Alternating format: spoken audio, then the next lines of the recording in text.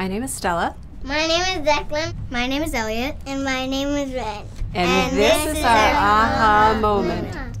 Our aha moment came after a couple years of trying to garden at home and nothing really happening and all of this money just down the drain. And at the end of the summer, we would have not much to show for like a handful or two of little cherry tomo tomatoes and but then it just occurred to me that we had this wonderful resource available to us like a mile from our home at the Green Bay Botanical Garden. You could go and rent an 8 by 5 plot, um, and they supply everything that you'd need. You can actually plant uh, quite a few things in that little square of space.